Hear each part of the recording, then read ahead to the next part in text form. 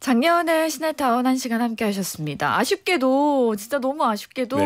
오늘 덕쌤과 어, 마지막 시간이었어요. 그렇습니다. 영화의 못에 영화가 보고 싶어서 코너가 아 어... 마음이 아프다. 어, 이거 오늘이 마지막이었습니다. 네. 그동안 진짜 매주 영화 보느라 고생 많으셨어요.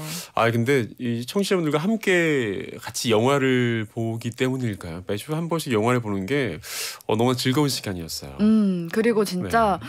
뭔가 이렇게 한 주 한주 지나면서 음. 더 편안해지시고 재밌어 음. 하시는 게 느껴져서 되게 저도 감사하고 네. 시네타운 가족들도 되게 행복한 시간이었을 것 같아요. 역시 영화는 같이 보는 게 제맛이구나 음. 이런 생각을 하기도 했고요.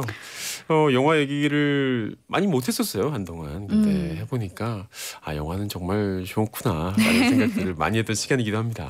이미자 씨가 덕쌤 시간이면 같이 영화 여행 떠나는 것 같아서 기다려지고 설렘이었습니다. 덕쌤 수고하셨습니다 라고. 아 감사합니다. 어, 그래도 우리 이웃에 방해가 되지 않는 음. 선에서 음. 윤덕원 씨 라디오에서 또 만날 수 있으니까요. 네. 음, 거기서 뵙도록 하겠습니다. 금요일 새벽 1시에 네.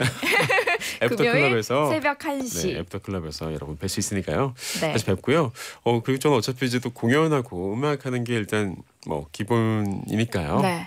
어 올여름에 있을 공연 뭐 지금 약간 좀 불안정하긴 하지만 잘 준비해서 만나 뵐 수 있도록 하겠습니다. 네. 여름에 공연하시면 꼭 알려주세요. 초대해주세요. 아, 네 물론이죠. 네. 가겠습니다. 네.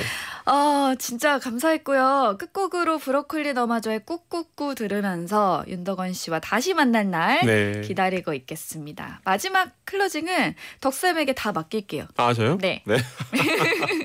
네 그동안 너무 즐거웠습니다. 영화 같은 하루 보내세요. 오늘도 해피엔딩. 잘 가요. 안녕.